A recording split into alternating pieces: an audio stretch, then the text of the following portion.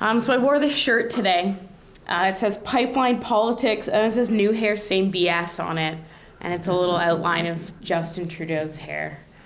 And I made this shirt with a bunch of comrades about two years ago before I headed to um, the UN Convention on Climate Change um, that was held in Marrakesh in Morocco in 2016. It's part of the Canadian Youth Delegation, which was sounds like it's been um, promoted by the government, but it's like very not.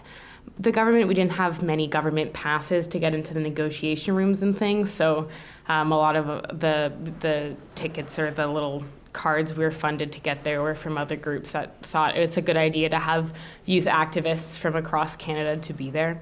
We were pretty like big, like pretty mixed group. Um, and some of the things that I think we got right in Morocco um, were uh, having people of color on the team, which is like not incredibly reflective a lot of times of what environmental movements look like. Um, because that, that rooted everything we did, at least the half of the team that was really concerned about climate justice. Um, in the people who are most affected by it, which are overwhelmingly uh, indigenous and, and, racialized communities, immigrants and migrants, and so on.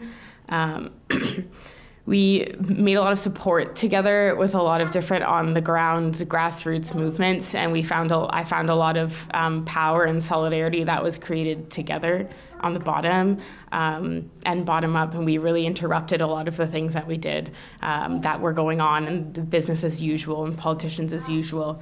Um, the mainstream movement, mainstream environmental movement, seems to sort of lack this ability to take the lead from the most affected, um, and that is in sort of all levels of politics and everywhere in a lot of different social movements. Um, this is a new hair and it's the same BS. And that's that's true for every single government that has ever come through. Um, is that it's a new hair, it's a new look, or it's a new um, whatever, and then you still have and you have your your fancy words, and you still get the same effects coming through. Um, we, you know, we thought maybe the NDP will be something, and it's like, okay, it's not Christy Clark, but then you're setting a low bar. Um, when I was in Morocco, we had, uh, it was during the Trump election, and uh, th- so everyone was like, well, I mean, at least Trudeau's not Trump, and I was like, that's, it's a very low bar to set. That's not great. Um, but the politicians aren't going to change it. The government's not going to change it. The government's not going to be the one that that leads the radical movement. They're not going to be the ones who um, support the um, proletariat uprising or whatever. Um, they're not going to be the ones who embrace decolonizing. They don't know how to do that that the decolonizing automatically undermines the entire function of the Canadian state. It challenges all of that power. It calls everything into question. Um, so they're not going to get behind it. They're going to say, yeah, we support UNDRIP, and then they'll approve Site C. They'll say, yeah, we support UNDRIP, and then let a lot of poor people die all the time because they don't want to raise welfare rates and they don't want to build temporary modular housing in the numbers that it needs to be and they don't want to build permanent social housing.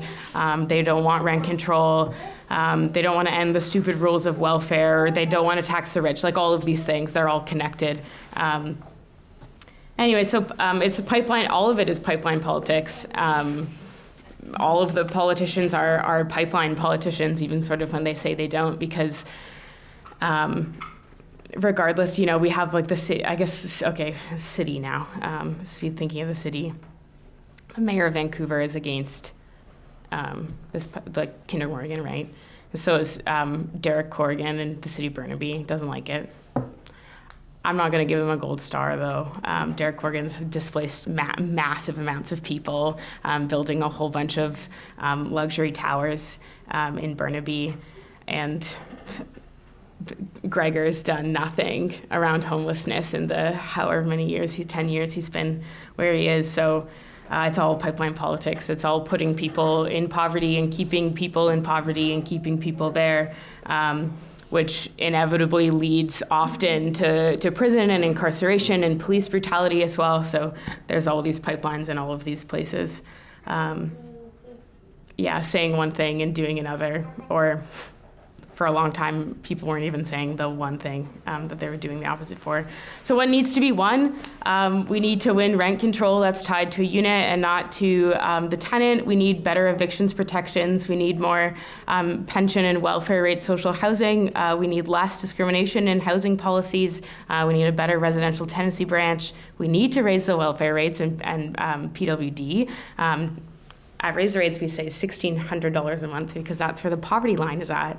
Um, but anything more than $100 would be great at this point. Uh, we need to tax the rich. We need more progressive income taxes. Uh, we need to end a lot of the really, really punitive measures on income assistance. Um, we need to end a lot of the really punitive measures for um, kids in, in care, in foster care, um, and, and through MCFD, and the fact that Indigenous grandparents can be raising their grandchildren um, on less than what a white foster family will get, and that's fucked. Um, we need to end capitalism. We need leaders who are more reflective of the people. Uh, we need a system that is more reflective of what um, the people need. We need justice oriented solutions. We don't need more charity. Um, we don't need more um, billion, like, okay, I won't say anything about the YWCA, but anyways, the, the lot, the, you know, like million dollar sort of charitable structures that are implanted there that everyone is creating this sort of system of dependence that needs to go. Um, we need to give land back. And I think that's that's um, a lot of what where decolonization comes down to. It's literally it's not a metaphor, um, and that's from that's a line. That's a title of an article um, by Eve Tuck and um, an author named Wang Yang. I think I don't remember her her whole name. Um, that like changed my entire life when I read it a while ago uh, in school. Anyways. Um, that's what it comes down to. That's also the framework that I think we need our struggles to, to change. So um, before coming here, um, I am a part of the Vancouver Tenants Union, which we got started about a year ago, and we're kind of, uh, I don't know, we're sort of trying to, to, to pull together on a lot of solutions um, for a lot of things to do with housing. Um, and using the tenant sort of as a front line for people, uh, tenant being fairly like widely defined, of course. Um, how do we link different struggles? The LA Tenants Union, who we're pretty connected to um, down in the States, we've, we've gotten to know a lot of incredible um, housing groups uh, all across the States and all across Canada and North America um, who are uh, grounded in, in um, working class communities of color, so they really know what they're talking about. Um, but the LA Tenants Union um, has this uh, has this really widely inclusive definition of tenant, which is one of the main points about it is that you're not. Uh, in control of your housing. So, whether you're homeless or whether you're unstably housed or couch surfing or renting or whatever, you're not in control of it. You don't own it. Um, but they said a really incredible thing when they came up to visit us in November and by came up to visit, we brought them over. Um, and they said that uh, they're not a housing group. They're not about housing issues, which are like, wait, what? They're about tenant issues and tenants issues. So if a tenant issue is that sex work is criminalized, if a tenant issue is that you don't get enough on income assistance, if a tenant issue is that um, you know you're laboring away at minimum wage, um, then then that's issues that the LATU is therefore going to be thinking about and working on. Um, and I think that idea of redefining your framework of how you understand who you're working for um, and what you're working towards is really important. So we, we came up with those thoughts together um, in some of the steering committee of the tenants union. We're thinking, how can we reframe our struggles so that it's like pretty dependent on each other?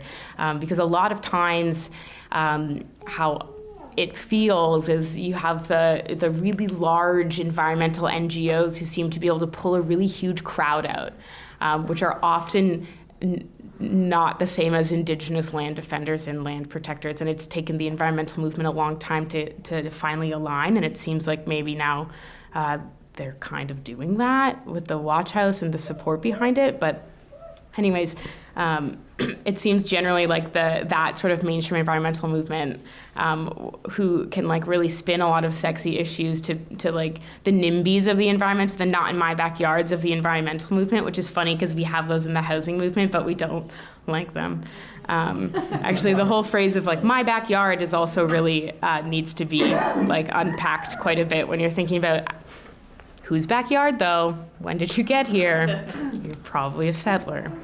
Um, anyway, so it's it's thinking about how we can frame our struggles to be connected to each other. Um, and to and to better show up for each other, which I know everyone's is tired and exhausted, and they, they can't get their feet on the ground for a protest to raise welfare rates or raise minimum wage or support a fight for 15 or or any various other things, but they really have to. Um, if we were to have a framework of understanding struggle to connect it, um, that's not something that um, looks towards the market for solutions and isn't a capitalist sort of understanding and a neoliberal and very individual understanding of solutions to the problems we're in. Um, that framework should be decolonization. Um, it should be like starting there for everything that we do. And so we're sort of trying at the VTU to think about how we can do that? And how do you how do you bring people into a movement when they're on sort of the front line of, of losing their shelter and losing their housing and losing their you know everything? Um, knowing one that people have already lost that in the last 500 years um, and and two that we need to work harder at that. Um, my partner is a really brilliant poet, and they have a line in one of their poems on cultural appropriation, uh, which a lot of people try say, appreciation, whatever. And they say, I don't want your appreciation, I want my land back. Um, I don't want your lip service. Like, I want the land to go back to where it is. I want a movement for justice. Um, so how do we link them? Is understanding that it, at least here, it's uh, all unceded territory. Um, and even in places where it is treated, its treaties often entered into bad faith on behalf of the Canadian state. So how how surrendered can you really say it ever is? Um, I think we need to think also in terms of you know, sort of social justice movements and, and oriented movements and things like that. How do you cut through a lot of the reactionary defenses that people have um, to issues that you're talking about? How do you say, what are you angry about? Um, and working down from that and understanding that. Um, when we were in conversation about uh, who was going to speak on this and, and what we were going to speak about, we said, well, yeah, how do we link different struggles? How do we bring movements together? There's like two things that people said. We said, stop being an asshole. Um, and the other one was listening and putting, setting your ego aside. I think those two sort of pieces um, would help a lot in being able to bring us together to really listen to what people are saying, but also to make sure we're uplifting the people that um, need to be listened to most and, and are leading from their experiences and their lived experiences, um, which is a lot of what a lot of the learning that I've done um, working for like in, in, housing justice issues and and um, working on sort of anti-poverty issues as well as somebody who hasn't um, ever been on welfare um, is listening to the people who know best and then you you build up you don't it, we all know we all know trickle down doesn't it doesn't trickle down you can't do that um, I think that maybe might be where I'll end it. Stop being an asshole. Um, but I don't know who it. I don't know if it's necessarily the people like in this room who need to hear that message. I think there are a few others. Um, like the Canadian Senate, apparently they just they just put forward a motion that uh, Trudeau's support does everything in his power to make this pipeline happen. Like, what are you doing? Um, what? Anyways, I don't know if I'm supposed to be swearing either, so I should also refrain from that. Um, I will also say there's there's another um, in, in, terms of how do we bring our, our struggles together and, and and how do we think about a framework that can incorporate that um, is sometimes people like sometimes there's this difference between organizing and mobilizing. Um, mobilizing being the mass movements and mass numbers of people we can bring out to things um, which is incredibly important um, for keeping um, politicians accountable and keeping um, you know eyes and, and, attention on the story. Um, and at the same time organizing needs to happen which is like deeper relationship building with people you want to bring into a movement. So you know maybe if you don't agree on everything you know that your principles are are similar and your your strategies and your tactics can change and can be different. But if you come down to the same sort of principles and same um, like a shared understanding of what you're working on um, that's really important. So so juggling that as well um, oftentimes there's there's this sense of crisis, and it is a crisis, and there are so many crises that we're facing right now. Um, not the smallest of which is like you know kind of climate change, just like constantly looming, which like a lot of activists are like it's constantly looming. Um, and you know it's not gonna you're not gonna win it. We know we're not gonna win higher welfare rates yet. we're trying. Ten years, um, many many many years for many people. Um, but how do we build an infrastructure that people can rely on in, in a movement? Um, how do we bring people on um, and then let them come to see that the world we want is looks radically different from the one where we are? I think I'm actually asking more questions than giving any answers, um, but that's also probably part of the process. Um, is you you have to ask um, more questions than than have all the answers it's kind of in that conversation that that happens. Um, I'm all for people's plans for um, solving things. Um, there was a really great group from the States um, that was working with us when we were in Morocco, and they created this big people's plan to. Um, for climate change and dealing with climate change in the states because they knew with the new administration, they knew with any administration it wasn't going to happen, but um, they know that that's where it comes from is that it comes from the grassroots and it comes from um, the people most on the ground. So i'll probably leave it at that. I do hope that the conversation can become interactive as well because if we're going to be talking and strategizing informally one it feels weird to do that on a panel and two i think there need to be like an, ex- an exchange of ideas and things. And so I, that's what i would wish for um, to come out of this always is, is more of an yeah strategizing informally together. So thanks